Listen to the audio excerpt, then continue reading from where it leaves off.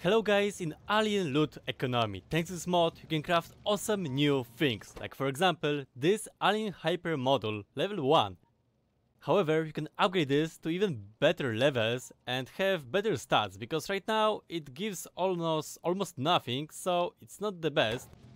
So to get started with this mod, you have to get uh, alien ore, what is uh, pretty easy, because it drops from the aliens, then you have to smelt it and craft some more stuff.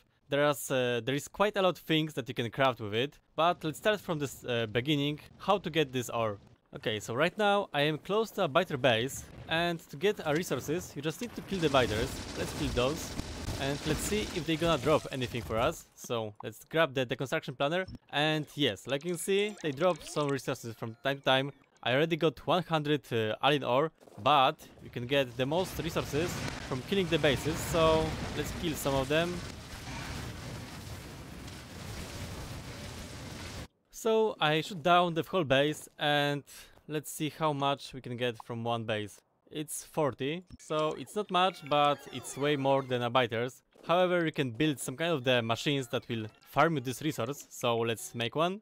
Okay guys, so this is an example of how you can farm this resource. So first you have to block the biter bases from the every corners. I use the cliff from one side and the turrets from the other side, sides and here I put the belts so whenever a biter die, like for example here, the item will drop in the nearest possible spot. So since everything is blocked already here, there is the only place that item can be is on the belt and this belt transport all of the resources right to your base or whatever you want to do with this resource. So now what you can do with this resource?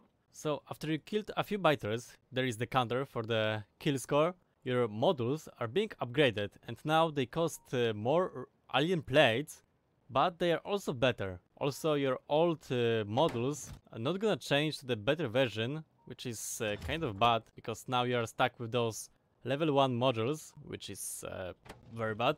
So what else can you make? There is a lot of different modules that you can make. Like for example this one, Alien Module 1. It takes the plates and you can basically just upgrade it over time. Because uh, when you look at this uh, module, you can just uh, upgrade it uh, whenever you kill the biters. But with this one, you can just upgrade wherever you have more resources. Up to this resource, uh, this module, which is pretty OP. 15 productivity. Let's compare this to a normal module. Yeah, normal Factorio module adds only 10 productivity. And also this uh, module adds the speed. And this one reduces the speed. So yes, this is way better. There are also alien solar panels. Uh, maybe let's make one. So let's uh, cheat one uh, to make it faster. So this is a uh, this is a solar panel, and uh, how fast is it working? Okay, so it's almost three times uh, faster, three times better than a normal uh, solar panel. Uh, you can also make the miners uh, ammunition that deals a lot more damage.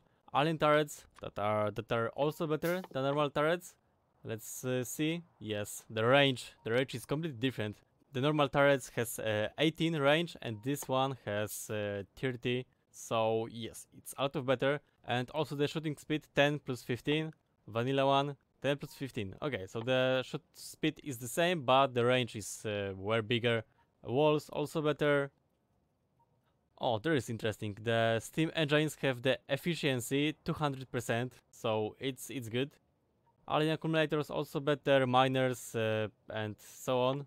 If you also get too much of this uh, alien ore, you can craft the normal vanilla resources with it, so it's also use useful. And that's basically all. So, thank you guys for watching and see you next time. Bye!